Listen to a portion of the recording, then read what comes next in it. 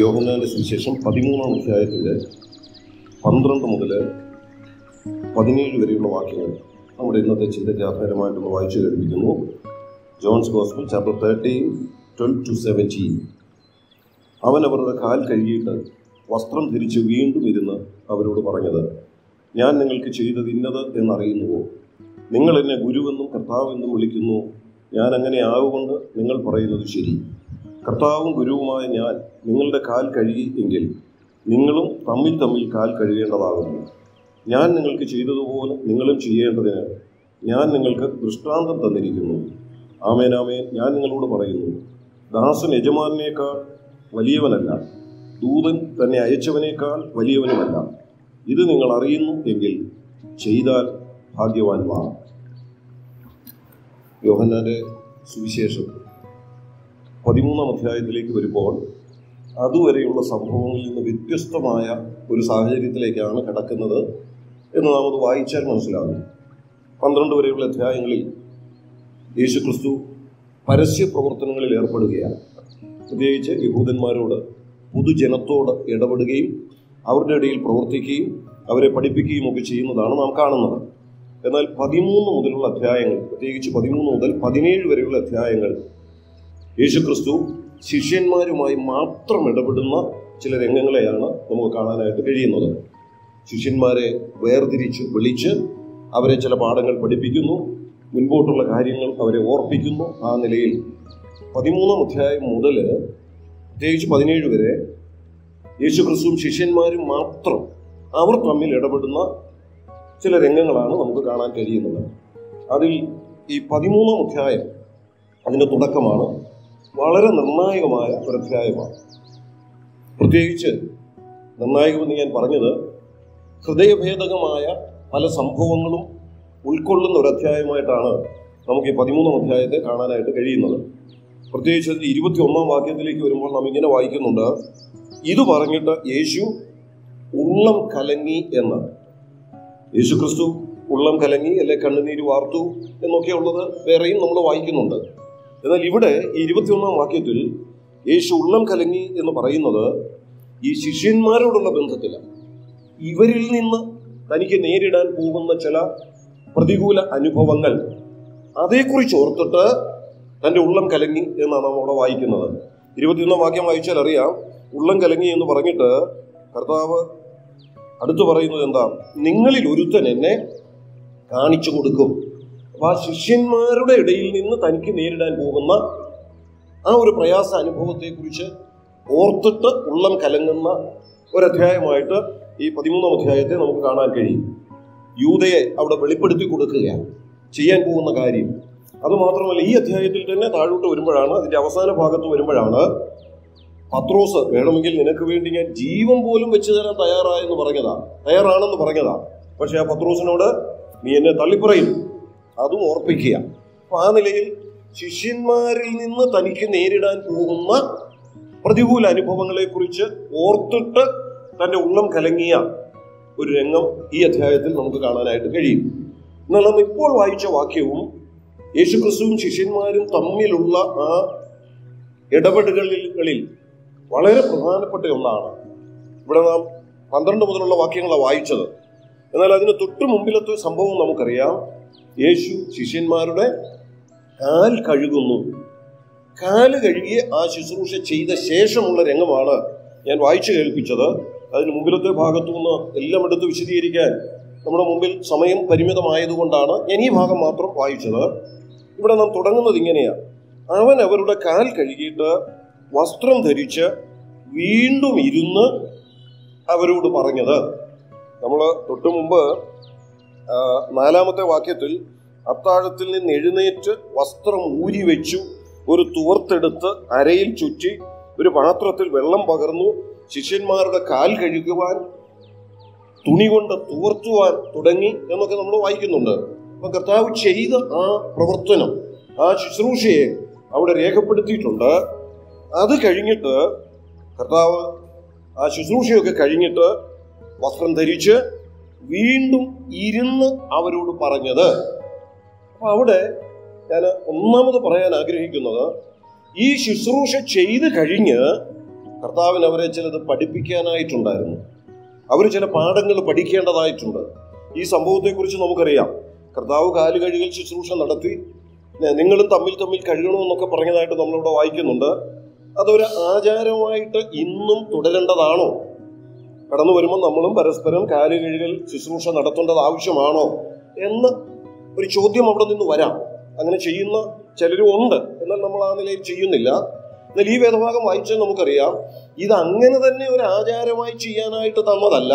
പിന്നെ ഇതിന്റെ താഴോട്ട് വരുമ്പോൾ നമ്മളിപ്പോൾ വായിച്ച ഭാഗത്ത് പറയുന്നുണ്ട് ഇത് ഒരു ദൃഷ്ടാന്തമായിട്ട് തന്നതാണ് ഒരു ദൃഷ്ടാന്തം എന്ന് പറഞ്ഞാൽ ഇംഗ്ലീഷിൽ നമ്മൾ വായിച്ചാൽ വായിക്കുന്നത് ഇറ്റ്സ് ആൻ എക്സാമ്പിൾ ഒരു ഉദാഹരണമാണ്. നിങ്ങൾ തമ്മിൽ തമ്മിൽ ചെയ്യേണ്ട ചില കാര്യങ്ങളുണ്ട്. അതെന്താണെന്ന് ഞാൻ പഠിപ്പിക്കാൻ പോവാ. ആ കാര്യങ്ങൾക്ക് ഒരു ഉദാഹരണം ഞാനൊന്ന് കാണിച്ചു തരിക. എന്ന് പറഞ്ഞ് ഒരു എക്സാമ്പിൾ ഒരു ദൃഷ്ടാന്തം കർത്താവ് കാണിച്ചു കൊടുത്തതാണ് നേരെ മുറിച്ച് അങ്ങനെ തന്നെ കൂടി വന്ന് അന്യോന്യം അക്ഷരീകമായി കാൽ കഴുകി അതൊരാചാരമായി തുടരാൻ വേണ്ടി തന്നതല്ല. അത് ആ ഭാഗം വിശദമായിട്ട് പഠിക്കുമ്പോൾ നമുക്ക് മനസ്സിലാകാം. അപ്പോൾ ഇവിടെ ഞാനത് പറഞ്ഞത് ഈ ശുശ്രൂഷ കഴിഞ്ഞിട്ട് കർത്താവ് ചില പാഠങ്ങൾ അവരെ പഠിപ്പിക്കുക. പഠിപ്പിക്കാൻ പോകുന്നു എന്നുള്ളതിന്റെ തെളിവ് കൂടിയാണ് പന്ത്രണ്ടാം വാക്യത്തിൽ വായിക്കുന്നത്. അവൻ അവരുടെ കാൽ കഴുകിയിട്ട് വസ്ത്രം ധരിച്ച് വീണ്ടും ഇരുന്ന് അവരോട് പറഞ്ഞത്. ഈ ശുശ്രൂഷയ്ക്കായിട്ട് കർത്താവ് എഴുന്നേറ്റു. അത്താഴത്തിൽ നിന്ന് എഴുന്നേറ്റു എന്നൊക്കെ നമ്മൾ വായിക്കുന്നുണ്ട്. എന്നാൽ ഈ ശുശ്രൂഷ കഴിഞ്ഞപ്പോൾ ഇവിടെ എന്ത് ചെയ്തെന്നാ പറയുന്നത് അവൻ വീണ്ടും ഇരുന്നു. നമ്മൾ അല്പം പുറകോട്ട് നോക്കിയാൽ കർത്താവ് ഇരുന്നതായി പറയുന്ന ചില രംഗങ്ങൾ നമ്മളൊന്ന് എടുത്ത് പഠിച്ചു നോക്കിയാൽ അതൊക്കെ അവരെ ചിലത് പഠിപ്പിക്കാൻ വേണ്ടിയായിരുന്നു. അവരോട് ചിലത് പറയാൻ വേണ്ടിയായിരുന്നു. ഞാൻ ഏതാനും ചില ഉദാഹരണങ്ങൾ മാത്രം ഒന്ന് സൂചിപ്പിക്കാം ഒന്ന് ചൂണ്ടിക്കാണിക്കാം. ലൂക്കോസിന്റെ സുവിശേഷം അഞ്ചാം അധ്യായത്തിന്റെ മൂന്നാമത്തെ വാക്യം. ആ പടകുകളിൽ ഷിമോൻ ഉള്ളതായി ഒന്നിൽ അവൻ കയറി കരയിൽ നിന്ന് അല്പം നീക്കണം എന്നവനോട് അപേക്ഷിച്ചു. അങ്ങനെ അവൻ പടകിൽ ഇരുന്ന് പുരുഷാരത്തെ ഉപദേശിച്ചു. ശിമോന്റെ പടകിൽ കയറിയ കർത്താവ് അവരെ ഉപദേശിക്കാൻ പോകുന്നു എന്നുള്ളതിന്റെ ഒരു ഉറപ്പ ഒരു തെളിവാണ് ആ പടകിൽ ഇരുന്നു. അപ്പൊ അവൻ അവിടെ ഇരുന്നു എന്ന് പറയുമ്പോൾ ഉപദേശിക്കാൻ പോവാ. അവന് ചുറ്റും അവർ വന്ന് ഇരുന്ന് കൊടുക്കണം. അവൻ പറയുന്നത് കേൾക്കണം. അപ്പൊ ആ ഇരുന്നു എന്നുള്ളത് കർത്താവ് തുടർന്നവരെ ഇതുവരെ ചിലൊക്കെ ചെയ്യുമായിരുന്നു ഇന്നും നടന്നും പ്രവർത്തിക്കുകയായിരുന്നു. നമ്മൾ അപ്പോസൽ പ്രവൃത്തികളുടെ പുസ്തകത്തിൽ വായിക്കുന്നുണ്ട് ഒന്നാം അധ്യായത്തിന്റെ ഒന്നാം വാക്യത്തിൽ ലൂക്കോസ് പറയുമ്പോൾ ഇതിനു മുമ്പ് ഞാനൊരു ചരിത്രം എഴുതി ഒന്നാമത്തെ ചരിത്രം അതെന്തായിരുന്നു? യേശു ചെയ്തും ഉപദേശിച്ചും പോകുന്നത് എന്ന് പറഞ്ഞാൽ ചെയ്തു പോകുന്നത് അതേക്കുറിച്ച് പിന്നീട് ഉപദേശവും കൊടുക്കും. ചെയ്യുന്നത് നടന്നും നിന്നുമൊക്കെ ആയിരിക്കാം. എന്നാൽ ആ പ്രവൃത്തി ചെയ്തു കഴിഞ്ഞ് കർത്താവ് പോയി ഇരിക്കുക അപ്പൊ അവിടെ ഒരു കാര്യം ഓർപ്പിക്കുക. ഇതിന്റെ അടിസ്ഥാനത്തിൽ എനിക്ക് നിങ്ങളെ ചിലത് പഠിപ്പിക്കാനുണ്ട്. നിങ്ങൾ ചില ആത്മീയ പാഠങ്ങൾ അറിയാനായിട്ടുണ്ട്. ഇത് മാത്രമല്ല നമ്മൾ വേറെ രണ്ട് മൂന്ന് വാക്യഭാഗങ്ങളിലൂടെ ഞാൻ എക്സാമ്പിളായിട്ടൊന്ന് സൂചിപ്പിക്കാം. അനേക വാക്യങ്ങളുണ്ട്. മത്തായി സുവിശേഷം അഞ്ചാം അധ്യായത്തിന്റെ ഒന്നാം വാക്യം. അവൻ പുരുഷാരത്തെ കണ്ടാറെ മലമേൽ കയറി അവൻ ഇരുന്ന ശേഷം ശിഷ്യന്മാർ അവന്റെ അടുക്കൽ വന്നു. മത്തായി സുവിശേഷം അഞ്ചു മുതലുള്ള അധ്യായങ്ങളിൽ എന്താ നമ്മൾ വായിക്കുന്നത്? പഠിപ്പിക്കല ഉപദേശമാണ് ഗിരിപ്രഭാഷണമാണ് കർത്താവ് വലിയ ആത്മീയ പാഠങ്ങൾ അവരെ പഠിപ്പിക്കാൻ പോവുക. ആ പഠിപ്പിക്കാൻ പോകുന്നതിന് മുമ്പ് മലമേൽ കയറിയിട്ട് എന്താ അവിടെ എഴുതിയിരിക്കുന്നത് അവൻ ഇരുന്ന ശേഷം ശിഷ്യന്മാർ അവന്റെ അടുക്കൽ വന്നു. അവൻ അവിടെ കയറി ഇരുന്നപ്പോഴേ ശിഷ്യന്മാർക്ക് മനസ്സിലായി ഇനി അവന്റെ അടുക്കൽ ചെന്നാ വല്ലോ പഠിക്കാൻ ഉണ്ട്. അവന്റെ അടുക്കൽ ചെല്ലണം. അവൻ ഇനി പഠിപ്പിക്കാൻ പോവുക. അവൻ ഉപദേശിക്കാൻ പോകുകയാ. മത്തായി സുവിശേഷം പതിമൂന്നാം അധ്യായത്തിന്റെ രണ്ടും മൂന്നും വാക്യങ്ങളൊന്ന് നോക്കി മത്തായി പതിമൂന്നിന്റെ രണ്ടും മൂന്നും. വളരെ പുരുഷാരം അവന്റെ അടുക്കൽ വന്നു കൂടുകൊണ്ട് അവൻ പടകിൽ കയറി ഇരുന്നു. പുരുഷാരമെല്ലാം കരയിലിരുന്നു. അവിടെയും കർത്താവ് ഇരുന്നു എന്ന് നമ്മൾ വായിക്കുക. പടകിൽ കയറി ഇരുന്നു. അടുത്ത വാക്യങ്ങൾ പിന്നെ വായിച്ചു നോക്കിയാൽ മതി. സ്വർഗരാജ്യത്തെക്കുറിച്ചുള്ള അനേക ഉപമകൾ അവരെ പഠിപ്പിക്കാനായിട്ട് പോവുകയാണ്. അപ്പൊ അതിനു മുമ്പും കർത്താവ് എന്ത് ചെയ്തു? അവിടെ ഇരുന്നു. വേറെയുമുണ്ട്. മത്തായി സുവിശേഷം ഇരുപത്തിനാലാം അധ്യായത്തിന്റെ മൂന്നാം വാക്യം. മത്തായി ഇരുപത്തിനാലിന്റെ മൂന്നിൽ കർത്താവ് കർത്താവിനോട് തന്റെ ശിഷ്യന്മാർ ചോദിക്കുന്നുണ്ട് നിന്റെ വരവിന്റെയും ലോകാവസാനത്തിന്റെയും അടയാളം എന്താണ്? എന്ന്. കർത്താവ് അത് പറഞ്ഞു കൊടുക്കാൻ പോവാ. ഭാവികാല സംഭവങ്ങൾ അവരുടെ മുൻപാകെ ചൂണ്ടിക്കാണിക്കാൻ പോവുക ചില തെളിവുകൾ അവരെ പഠിപ്പിക്കാൻ പോവുക അതിനു മുമ്പ് എന്താ ചെയ്തത്? അവൻ ഒലിവുമലയിൽ ഇരിക്കുമ്പോൾ ശിഷ്യന്മാർ തനിച്ച് അവന്റെ അടുക്കൽ വന്നു. പിന്നെ അതൊക്കെ പറഞ്ഞു കൊടുക്കാൻ പോവാം. അപ്പോൾ ഇതൊക്കെ പഠിപ്പിക്കുന്നതിന് മുമ്പ് കർത്താവ് എന്ത് ചെയ്തെന്ന് അവിടെ വായിക്കുന്നത് അവൻ ഇരുന്നു. ആ ഇരുന്നു എന്ന് പറയുമ്പോൾ ഞാൻ ഇങ്ങനെ പറയട്ടെ. താൻ ചെയ്തും ഉപദേശിച്ചും പോന്നു. ഇതുവരെ ചെയ്തു പോന്നു. നമ്മളിപ്പോൾ വായിച്ച ആ ഭാഗത്തിന്റെ പശ്ചാത്തലത്തിൽ നിന്ന് പറയട്ടെ. ഇതുവരെ അത്താഴത്തിൽ നിന്ന് എഴുന്നേറ്റ് പത്രമൊക്കെ ഊരി അവരുടെ കാൽ കഴുകുന്നു. അത് തോർത്തുന്നു. ചില ശുശ്രൂഷകളിൽ ഏർപ്പെടുകയാ. അത് കഴിഞ്ഞിട്ട് അവൻ അവിടെ ഇരുന്നു ഇരുന്നത് എന്തിനാണെന്നറിയാമോ? ഈ ചെയ്ത ശുശ്രൂഷയിലൂടെ എനിക്ക് നിങ്ങളെ ചിലത് പഠിപ്പിക്കാനായിട്ടുണ്ട്. We need to learn from the lord കർത്താവിൽ നിന്ന് നാം പഠിക്കേണ്ടതായിട്ടുണ്ട്. അതാണ് ഇവിടെ നമുക്ക് ലഭിക്കുന്ന ഒരു വലിയ പാഠം എന്ന് പറയുന്നത്. കർത്താവ് തന്നെ പറഞ്ഞത് മത്തായ സുവിശേഷം പതിനൊന്നാം അധ്യായത്തിന്റെ ഇരുപത്തി ഒൻപതാം വാക്യത്തിൽ നമ്മൾ വായിക്കുന്നുണ്ട്. ഞാൻ സൗമ്യതയും താഴ്മയും ഉള്ളവനാകിയാൽ എന്റെ മുഖം ഏറ്റുകൊണ്ട് എന്നോട് പഠിപ്പേ. അപ്പൊ കർത്താവിന്റെ പാദത്തിൽ ഇരുന്ന് കർത്താവിങ്കിൽ നിന്ന് നാം ദൈനംദിനം പഠിക്കേണ്ടുന്നതിന്റെ ആവശ്യകതയാണ് ഈ സംഭവത്തിലൂടെ നമുക്ക് മനസ്സിലാക്കാനായിട്ട് കഴിയുന്നത്.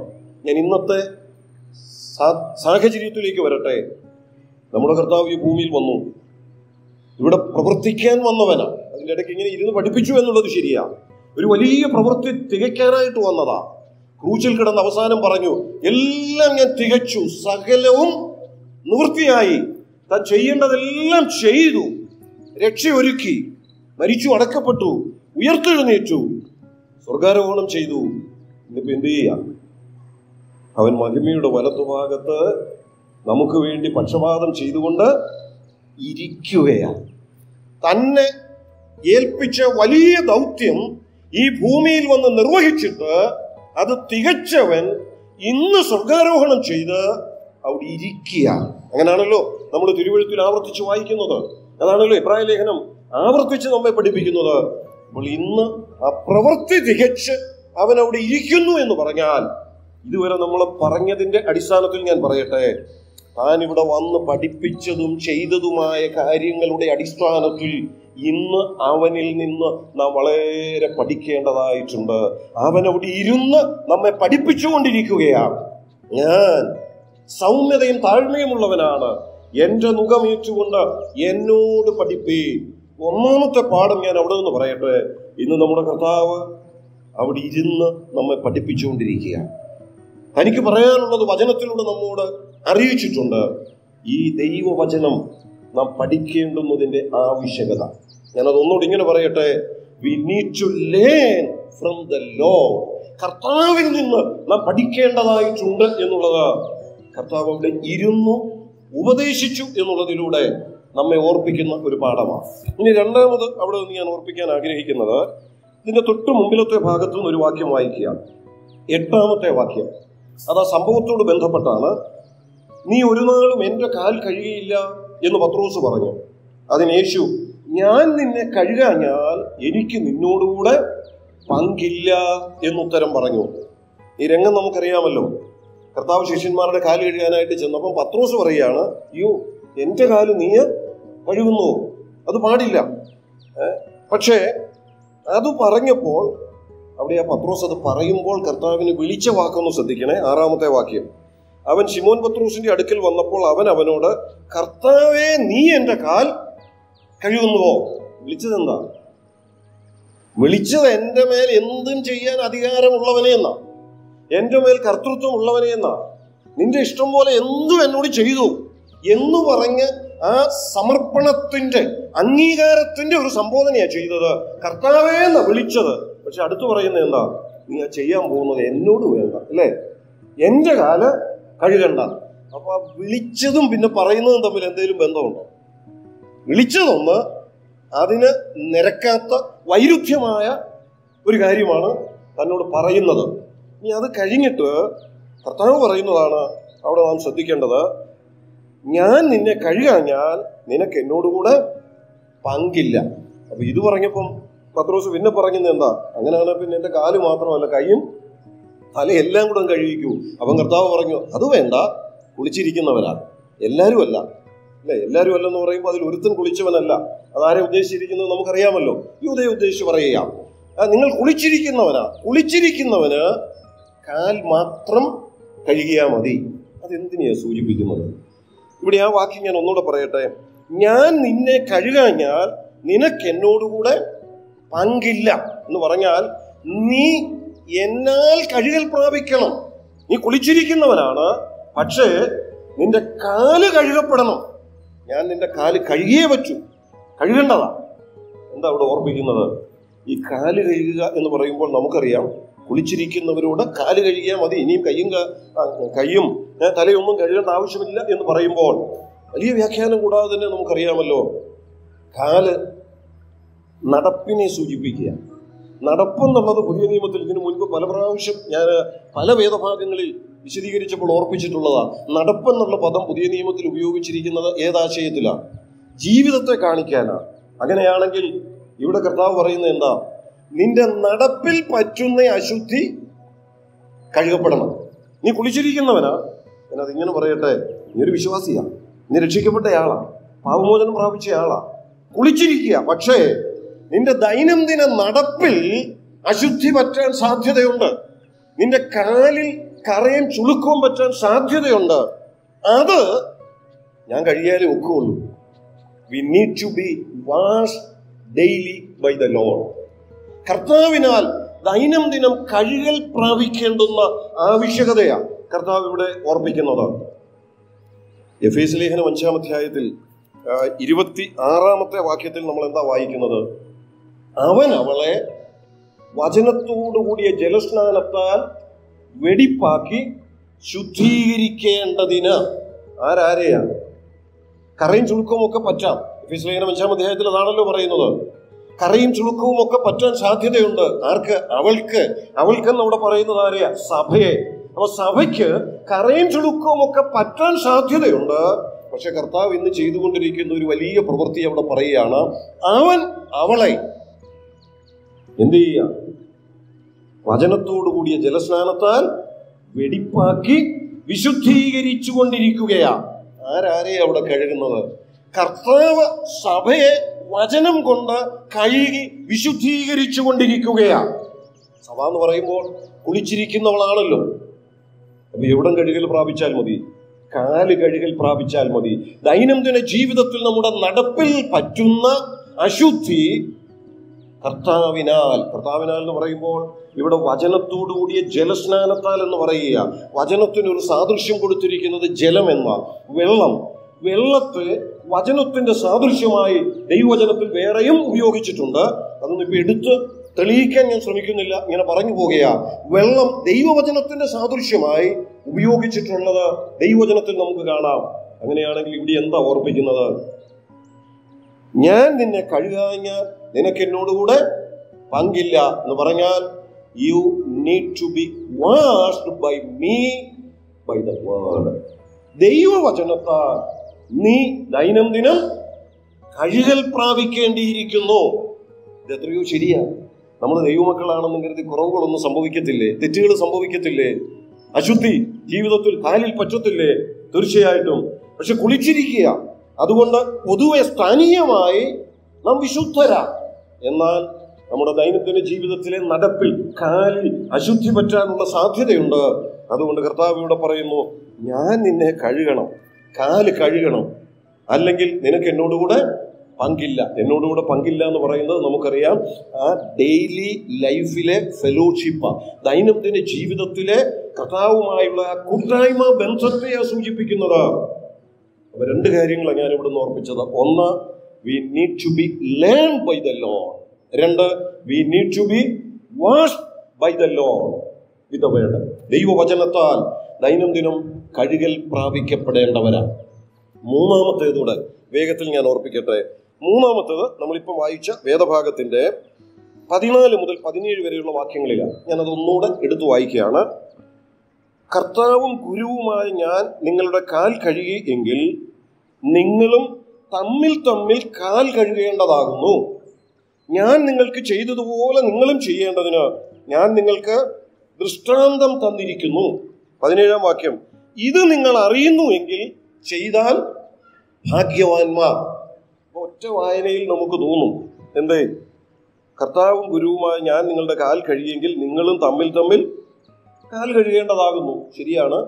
പക്ഷെ അതിന് ആത്മീയ അർത്ഥമാണെന്നുള്ളതിന് ഞാൻ ഒന്ന് രണ്ട് തെളിവുകളൊന്ന് സൂചിപ്പിക്കാം. നമ്മൾ ഇതിന്റെ മുകളിലത്തെ ഒരു വാക്യം. ഏഴാം വാക്യം.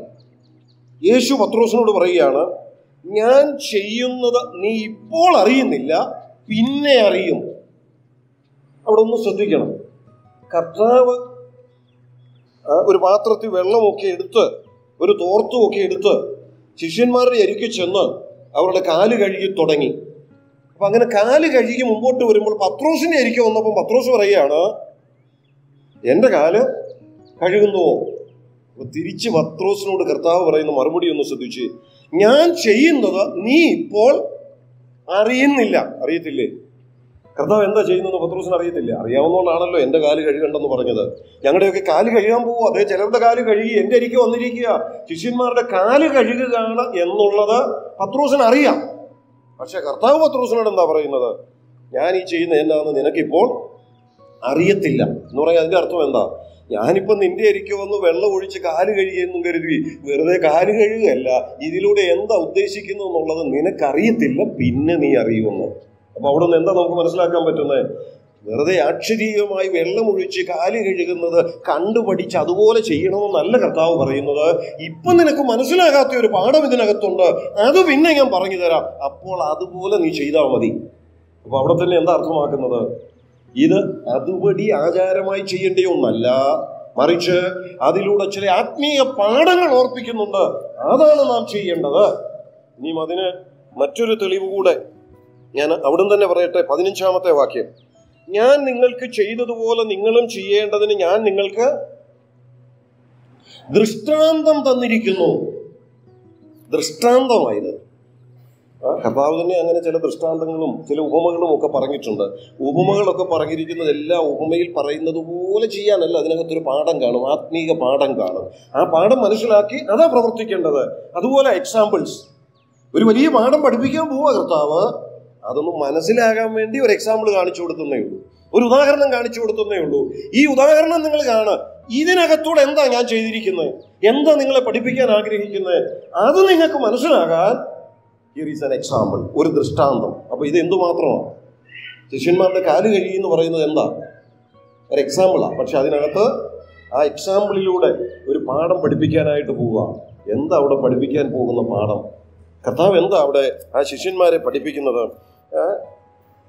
ഞാൻ വേറൊരു വേദഭാഗം കൂടെ ഒന്ന് വായിച്ചു കേൾപ്പിക്കുക. ലൂക്കോസിന്റെ സുവിശേഷം ഇരുപത്തിരണ്ടാം അധ്യായം ഇരുപത്തിയാറും ഇരുപത്തിയേഴും വാക്യങ്ങൾ. ലൂക്കോസ് ഇരുപത്തിരണ്ടിന്റെ ഇരുപത്തിയാറും ഇരുപത്തിയേഴും. നിങ്ങളിൽ വലിയവൻ ഇളയവനെ പോലെയും നായകൻ ശുശ്രൂഷിക്കുന്നവനെ പോലെയും ആകട്ടെ. ആരാകുന്നു വലിയവൻ? ഭക്ഷണത്തിനിരിക്കുന്നവനോ ശുശ്രൂഷിക്കുന്നവനോ? ഭക്ഷണത്തിനിരിക്കുന്നവനല്ലയോ? ഞാനോ നിങ്ങളുടെ ഇടയിൽ ശുശ്രൂഷിക്കുന്നവനെ പോലെ ആകുന്നു. ശിഷ്യന്മാരുടെ ഇടയിൽ ഒരു വലിയ പ്രശ്നം. എന്താ? ഞങ്ങളിൽ ആരാ? വലിയവൻ. ഇരുപത്തിനാലാം വാക്യത്തിൽ അത് വായിക്കുന്നുണ്ട്. തങ്ങളുടെ കൂട്ടത്തിൽ ആരെയാകുന്നു വലിയവനായി എണ്ണേണ്ടത് എന്നതിനെ ചൊല്ലി ഒരു തർക്കവും അവരുടെ ഇടയിൽ ഉണ്ടായി. അപ്പൊ ശിഷ്യന്മാരുടെ ഇടയിൽ ഒരു തർക്കം തന്നെ ഉണ്ടായി. എന്താ തർക്കം? ഞങ്ങളിൽ ആരാ? ഞങ്ങളിൽ ആരാ വലിയവൻ? ഞങ്ങളിൽ ആരാ പ്രധാനയാൾ? ഞങ്ങളിൽ ആരാ ചീഫ്? ഞങ്ങളിൽ ആരാ? ഒന്നാമൻ ആ ഒരു തർക്കം ശിഷ്യന്മാരുടെ ഇടയിൽ ഉണ്ടായി അപ്പം കർത്താവ് പറഞ്ഞ വാക്കുകൾ കൊടുത്ത മറുപടി എന്താ പറയുന്നത്? നിങ്ങൾ നിങ്ങളിൽ വലിയവൻ ഇളയവനെ പോലെയും നായകൻ ശുശ്രൂഷിക്കുന്നവനെ പോലെയും ഇരിക്കട്ടെ. ഞാൻ എന്താ ചെയ്തത്? ഇരുപത്തിയേഴ്.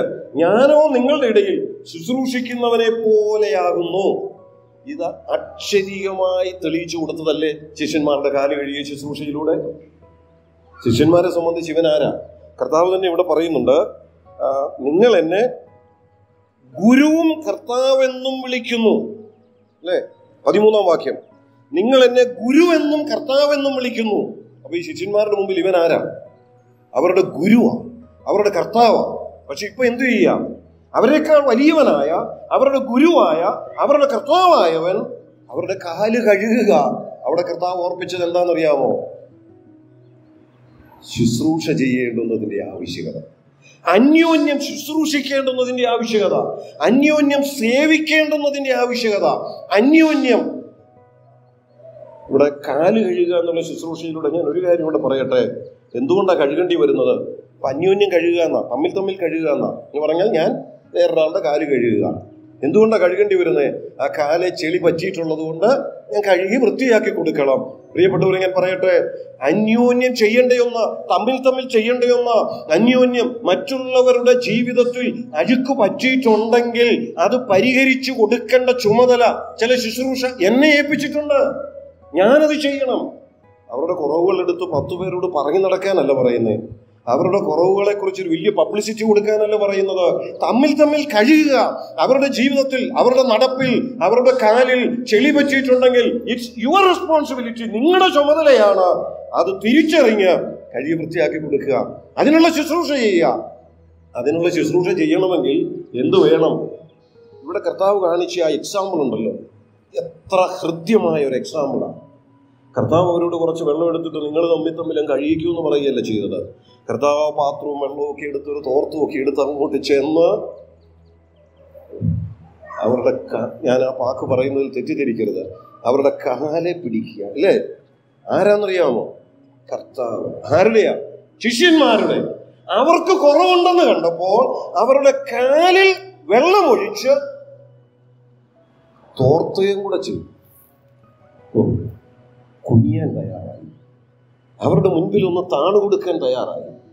അവരുടെ മുൻപിൽ ഒന്ന് കുനിഞ്ഞ് ഒന്ന് താഴ്ന്ന്. ഇതല്ലേ കർത്താവ് പറഞ്ഞത്? നിങ്ങൾ എന്നിൽ നിന്ന് എന്താ പഠിക്കേണ്ടത്?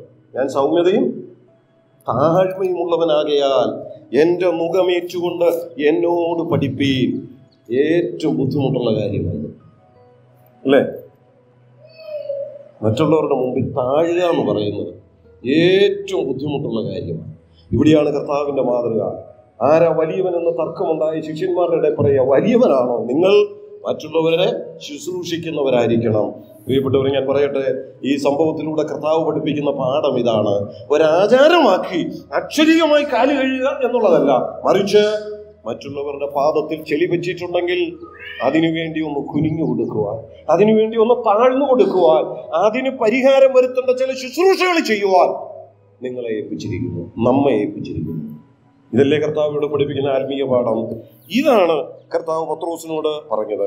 ഇവിടെ ഒരു വാക്കൂടെ ഒന്ന് ശ്രദ്ധിച്ച് ശിഷ്യന്മാരോട് കർത്താവ് പറയുമ്പോൾ പറഞ്ഞത് എന്നാണെന്നറിയാമോ നിങ്ങൾ എന്നെ ഗുരു എന്നും കർത്താവെന്നും വിളിക്കുന്നു. അവിടെ പറഞ്ഞ വാക്കൊന്ന് ശ്രദ്ധിച്ച് നിങ്ങൾ എന്നെ കർത്താവെന്ന് വിളിക്കുന്നുണ്ട്. പക്ഷെ അതിനു മുമ്പ് വിളിക്കുന്നത് എന്താ? ഗുരു എന്നാണ്. അപ്പൊ അവിടെ എന്തുകൊണ്ടാണ് കർത്താവെന്ന് വിളിച്ചേ? ആദ്യം ഇവന്റെ ഗുരുവായിട്ട് മനസ്സിലാക്കി പിന്നെ കർത്താവായിട്ട് മനസ്സിലാക്കി. പക്ഷെ അങ്ങനല്ല വേണ്ടതെന്ന് തിരിച്ച് മറുപടി കൊടുക്കുമ്പോൾ കർത്താവ് പറയുന്നു ഒന്ന് ശ്രദ്ധിച്ച്. പതിമൂന്നാം വാക്യം. നിങ്ങൾ എന്നെ ഗുരുവെന്നും കർത്താവെന്നും വിളിക്കുന്നു. ഞാൻ അങ്ങനെ ആകൊണ്ട് നിങ്ങൾ പറയുന്നത് ശരി. അടുത്തത് ശ്രദ്ധിച്ച്. ഗുരുവും കർത്താവുമായ ഞാനെന്നല്ല പറയുന്നത്. പിന്നെ കർത്താവും ഗുരുവുമായ ഞാൻ നിങ്ങളുടെ കാൽ കഴുകിയെങ്കിൽ. അവിടെ ആ ക്രമം നേരെ തിരിഞ്ഞു. ആദ്യം ഗുരുവായിട്ടല്ല അംഗീകരിക്കേണ്ടത്. പിന്നെ ആദ്യം ആരായിട്ടാണ് കർത്താവായിട്ടാണ് ആ കർത്തൃത്വം അംഗീകരിച്ചവരാണ്. പിന്നെ എന്റെ കീഴിലിരുന്ന് പഠിക്കേണ്ടത്. കർത്തൃത്വം അംഗീകരിക്കാതെ വചനം മുഴുവൻ പഠിച്ചുകൊണ്ട് വല്ല കാര്യമുണ്ട്? കർത്തൃത്വം അംഗീകരിക്കാതെ രക്ഷിക്കപ്പെടാതെ ബൈബിൾ കോളേജിൽ പോയി പഠിച്ച് വലിയ വലിയ ഡിഗ്രി എടുത്തതുകൊണ്ട് വല്ല കാര്യമുണ്ടോ? ജീവിതത്തിൽ അനുഭവമില്ല. അറിയാം പ്രസംഗിക്കാൻ അറിയാം പഠിപ്പിക്കാൻ അറിയാം അതല്ല ആദ്യം സംഭവിക്കേണ്ടത് അക്സെപ്റ്റ് ദ ലോഡ്ഷിപ്പ് കർത്തൃത്വം അംഗീകരിക്കുക. എന്നിട്ട് അവന്റെ പാദത്തെങ്കിൽ ഇരിക്കുക. പഠിക്കുക അവൾ പഠിപ്പിക്കുന്നത് അറിയുക. പതിനേഴാമത്തെ വാക്യം ഒന്നുകൂടെ വായിച്ച് ഞാൻ വേഗത്തിൽ അവസാനിപ്പിക്കാം. ഇത് നിങ്ങൾ അറിയുന്നുവെങ്കിൽ ചെയ്താൽ ഭാഗ്യവാന്മാർ. ഏതറിയുന്നെങ്കിൽ? ഞാൻ കർത്താവാണെന്നും എന്നിൽ നിന്ന് പഠിക്കേണ്ടതാണെന്നും എന്നാൽ കഴിവിൽ പ്രാപിക്കേണ്ടവരാണെന്നും. ഓരോ ഞാൻ കാണിച്ചു തന്ന ഈ എക്സാമ്പിൾ പ്രകാരം താഴാൻ കുനിയാൻ മറ്റുള്ളവരുടെ ആത്മീയ നന്മയ്ക്ക് വേണ്ടി താഴ്ന്നു കൊടുക്കുവാൻ തയ്യാറാണെങ്കിൽ ഇത് നിങ്ങൾ അറിയുന്നുവെങ്കിൽ ചെയ്താൽ ഭാഗ്യവാന്മാർ. ഞാനിങ്ങനെ പറഞ്ഞ് അവസാനിപ്പിക്കട്ടെ. ചെയ്യാൻ പറ്റാതെ പോകുന്നത് അറിയാൻ മേലാങ്ങിട്ടല്ല പിന്നെ അറിയാം പക്ഷേ താഴ്ന്നു കൊടുക്കാനുള്ള മനസ്സില്ല വിനയ സ്വഭാവം താഴ്മ.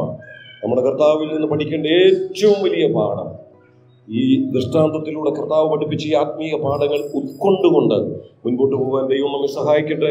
ഒന്ന് we need to learn from the Lord രണ്ട് we need to be washed by the Lord മൂന്ന് we need to practise what the Lord has taught ദൈവവചനത്തോട് വിശ്വസത പുലർത്തുവാൻ കേട്ട വാക്കുകളിലൂടെ ദൈവം നമ്മെ സഹായിക്കട്ടെ.